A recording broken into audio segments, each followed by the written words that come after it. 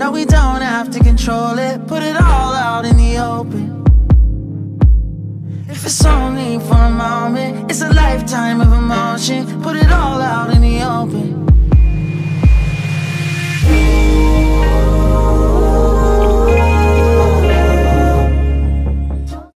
What a nice evening with all the horses. This little nameplate here is one I've had since Milo was like three. Hi boys. I suppose a quick update on Pogo's leg is in order. Um, so for those of you who missed the video about it, Pogo impaled his leg with a stick over a month ago now and the stick went into the knee joint so it was a pretty serious injury and it was like a deep hole so it's starting to scab over and heal it needs to get cleaned. I haven't cleaned it yet today. We're no longer bandaging. He just gets alu spray on it. But yeah it looks pretty good. He's like go away. Hi boys. Yeah so he's doing well. And he just turned three on May 15th and Percy just turned four on April 21st and then Banksy is turning one on May 28th yes yes you are I'm excited because I found an old leather halter that fits him and it looks so cute I'm gonna order his first nameplate yes Oh my goodness, you're so cute. And you are too, Pogert. I love you too.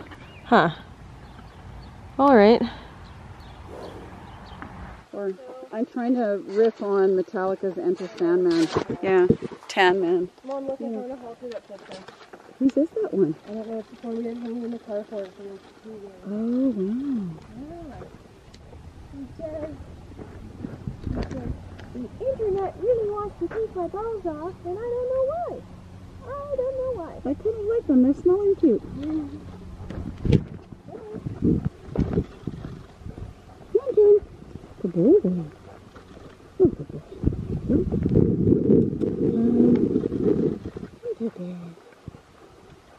So I always twine because then if they pull back, it'll break. And with babies, even if they're well trained and stand well, if something scares them enough to pull back and freak out, if they're hard tied, they're going to really hurt themselves. And anyone who teaches your horse to tie and stand well by hard tying them and letting them freak out until they give up and go into learning helplessness is a gift to their horse. But I doubt. What do you think, my man? What do you think? What are your plans? Let's turn out your lamp. Here's my buddy. I don't think that's a stinker. Mm-hmm. Good boy.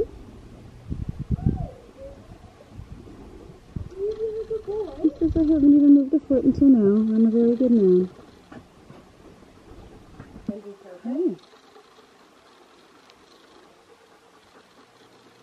But you can see he starts to do his little bird beak lick because he loves his scratches and his brushing. Mm -hmm. mm. And Karen here is learning to provide adequate distance between himself and the horses, which he doesn't always do. So like this is all his summer coat, so this is the color he'll be. And then these ugly tufty patches are still Baby fluff. He's gonna be very light in color, very similar to his mom.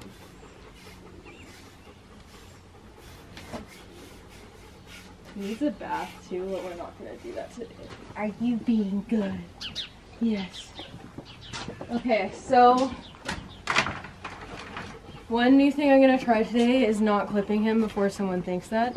I'm just to plug the clippers in and run them while I groom him to get him to start getting used to the noise.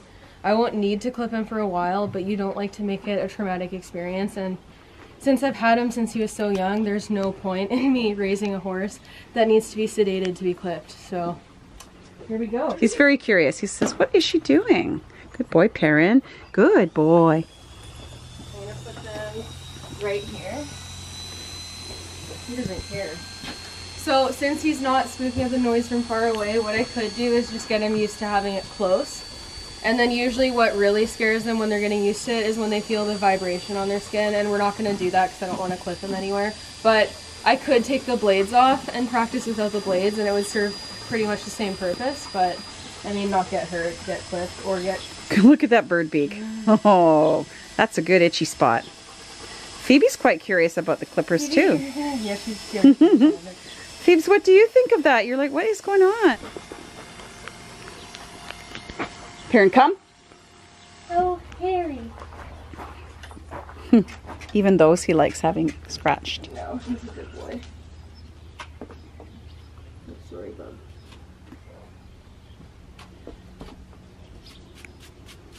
He's not big feet. I like his little feet.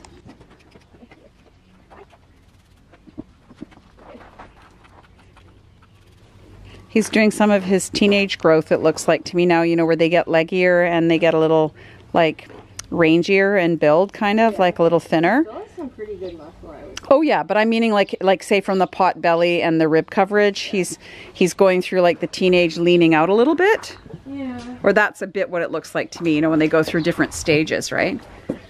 Yeah. Would you if I just hacked off his forelock? Um, not be happy with you, perhaps. Oh, look, little man. Hi, baby. Like I'm literally barely touching him. Hi, he just wants to say hi to me because he also likes me. Hi, my friend. Hey, my little baby.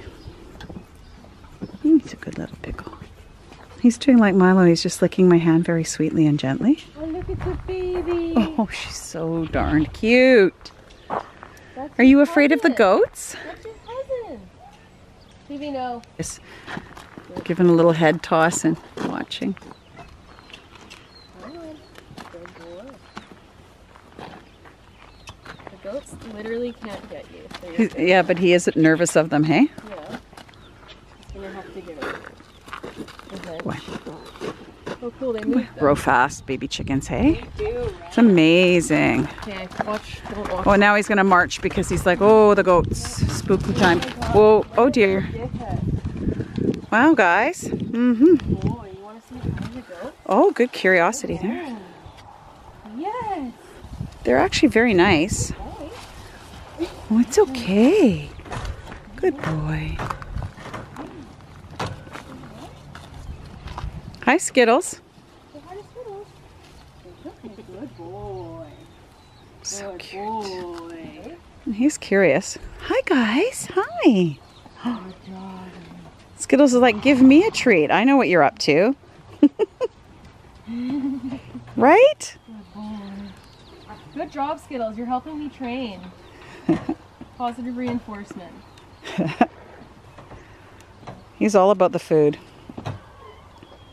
Good boy. Is he not as scary anymore? Oh, look, what about when he climbs the fence, Banksy?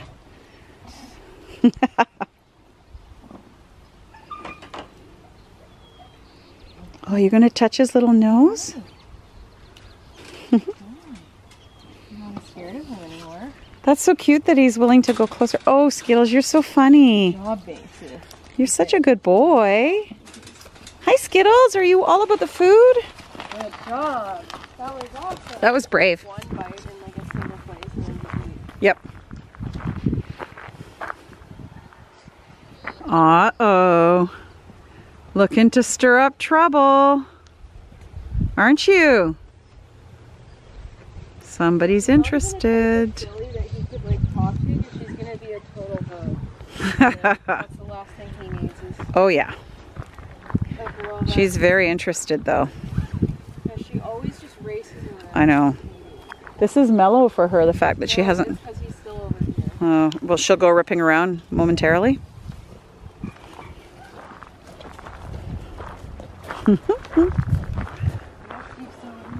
Oh yeah, the clouds. That's what, yeah. So I don't think they're. Oh, they're right there. They are there. They're far away. Yeah. But which is good because he can see them. He'll be. gonna suck that he has to be between that and it. Yeah. well, but at least they're not right at the fence, so he can get a look and a smell and uh, not have to have them be overly intimidating. But You don't see them yet. he says, I see her. Oh, yeah, she's being a sassy pants. What's that? They're young cows. They are. Oh, his tail is coming up. He's plopping though. Yet. Yeah, what are those? What are those? They're youngsters just like you, Banksy. Yeah, they're babies. Mhm. Go take a look. Probably yearlings too. Yeah, right? Good. And there aren't very many of them close by at all right now. Oh, there were way more in here when I came by before. Really? Yep. Stop it. Don't. Whoa. God, Mercedes. She's kicking. Good boy. It's okay, my.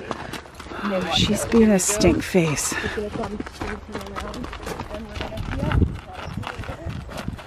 He's gonna turn into Gerald McBoing Boing.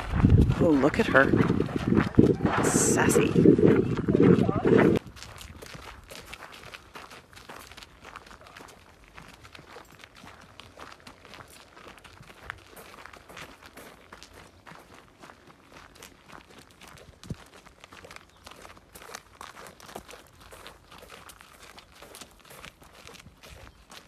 Hazel?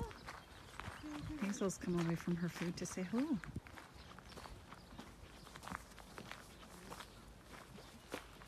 Good boy, Banksy. Yeah.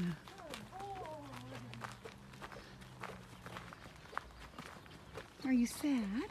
Are you? Good staying. Hi. Hi, beautifuls. Eat leaf. Yes.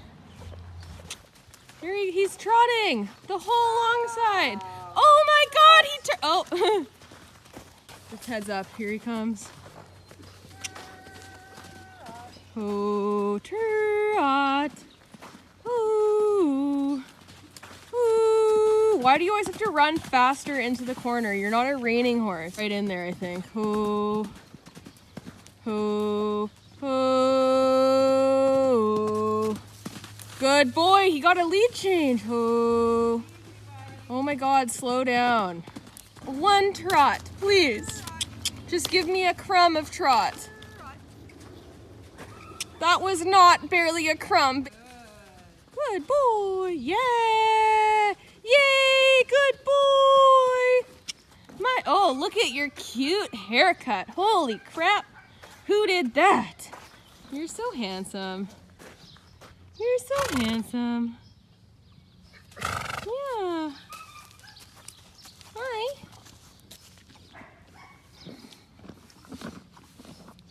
God, he's so cute. Look at that face. Holy shit. Oh my God. Work it. Work it. Working it a little less with your big belly. We're walking together like the bestest of friends. Just the two of us. And if he decides to try to climb me, I can see it. Back, back, back, back. Good boy. You ready? Back, back, back, back. No. Should I just jump on him then? Put a jump up? Oh, yeah. Meter 20? Woo! So, just because I know so many people will be asking this, I just want to address Banksy's balls because they are an item, one of, honestly, probably the eighth wonder of the world, some would say. Um, wait, stay with me. We're talking about your balls. So, Your anywho, regarding his balls, he is turning one on May 28th, so he's not even a year old yet. So he's quite young. As I'm sure you'll see, like in the videos of him walking past those fillies, um, he doesn't really care. He's nervous going to the back, just in general, because it's a new place. But his silliness or like any of his excitement isn't because of the girls being there. He doesn't care.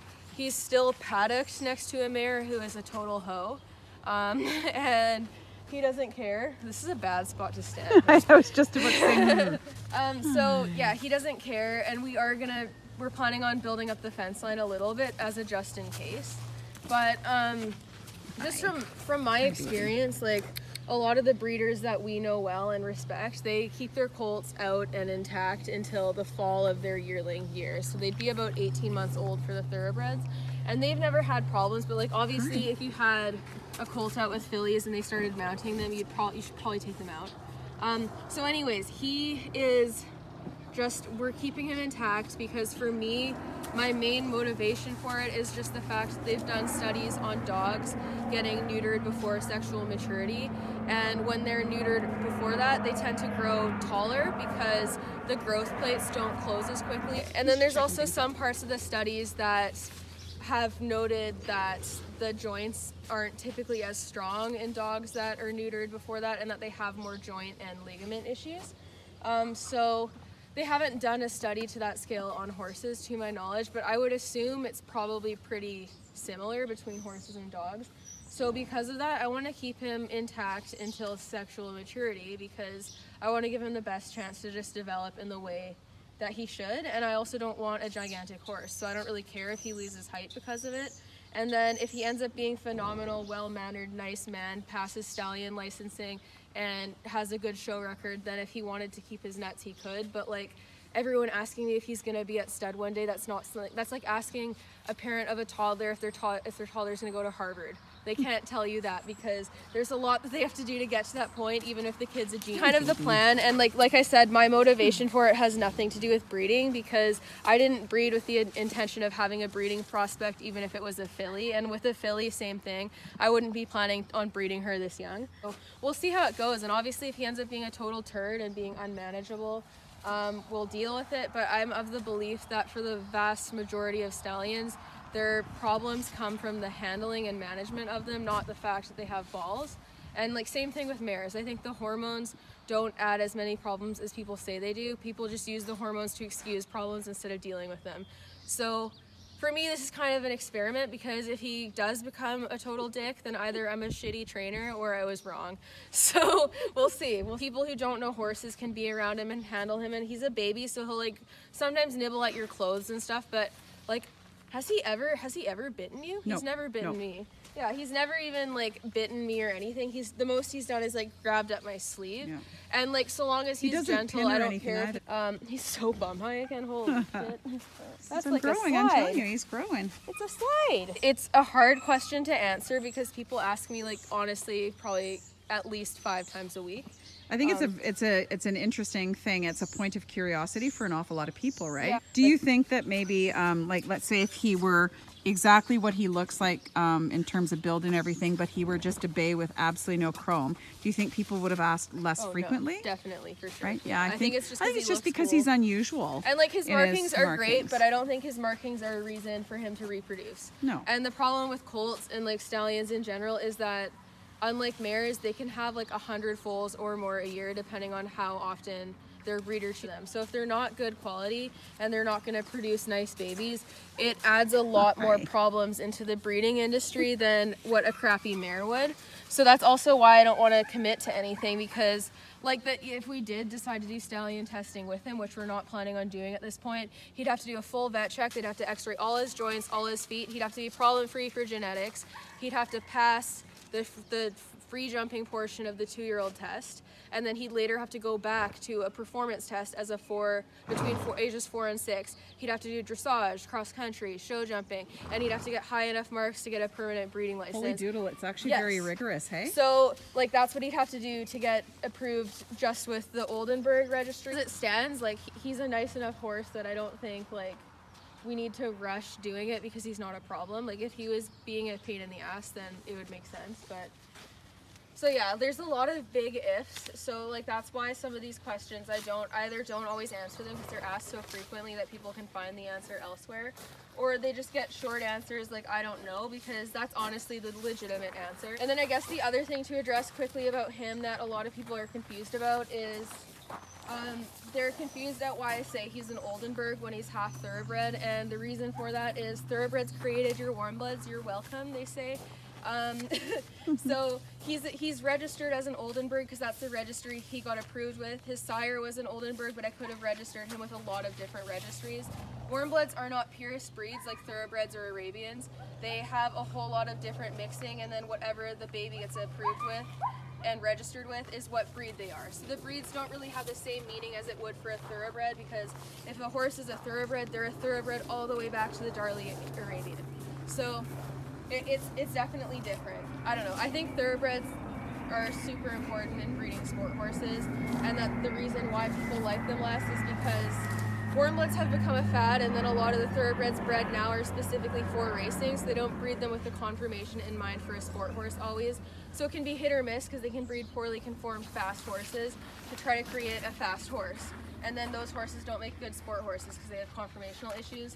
But then there are some absolutely stunning thoroughbreds that when you get them muscled up for like dressage and stuff, literally no one can tell that they're thoroughbreds when they see them. Anyways, that's my rant for today and welcome back to my channel. I hope you guys enjoyed my bro Chel Chelmoff Pelita, I don't know how to say it. Also regarding the hack, like obviously I have my account back because I filmed and posted this and the other thing is the guy whose name was on my channel, he's just some regular person that has nothing to do with the hacks. They just put his name on the channel. Yeah, I guess I could just leave over here. Have him eat his dinner here? Yeah, that's fine. He says I'm a good kid. One quick note about the hacks. The name that my channel was is just some normal dude that had nothing to do with the hacks. He was not the one who hacked it. Um, a lot of people assumed it was him and they went on his Twitter account and were like, why'd you hack people's account? Because they've used that name for a lot of hack channels. It has nothing to do with that guy. They also used Joe Rogan's name initially for my channel. So like, that's just what the hacker used. I don't think most hackers would actually put their real identity, especially so soon after the account was hacked. So just so everyone knows, it has nothing to do with him. He did not hack my account. Don't be mean to him. He's just living his best life, doing his thing, um, and has nothing to do with the hacks. And thank you to everyone who tagged YouTube on my post and tagged Google and supported me and said nice things and just helped me out. It was really crappy. This week has sucked. Um, like a bunch of bad things have happened, like my wallet getting stolen. Like yesterday I was at my wit's end. When I noticed my wallet was gone, I like lost it. Um, so now it's better because I got the account back sooner than what I would have expected and then my wallet also turned up because someone found it. Um, so I got my ID back, which was good. But yeah, so I hope you guys enjoyed this little update. I am going to be trying to do some new things on my channel and start doing more requested videos as I have more time and as the weather gets better. And I also still am keeping that backup channel if anyone wants to follow it and I'll post like extra stuff on there as it comes. And so there will be more stuff on there. So thank you again for all your support. I really appreciate it. And um, you guys made it a lot better of a process than it would have been without your help and then I guess the other thing that I could say quickly is I'm revamping my entire merch store. There's going to be a lot more products available. The store is cleaner and it's now on my website. So if you want to check that out, the link is down in my bio. Not all of the products I'm adding are added yet. That will take some time. So I'll also link my Teespring store down below if you want like the full range of options that I have currently. And then you can check that out. Thank you for watching and thank you for your support, guys. I really appreciate it.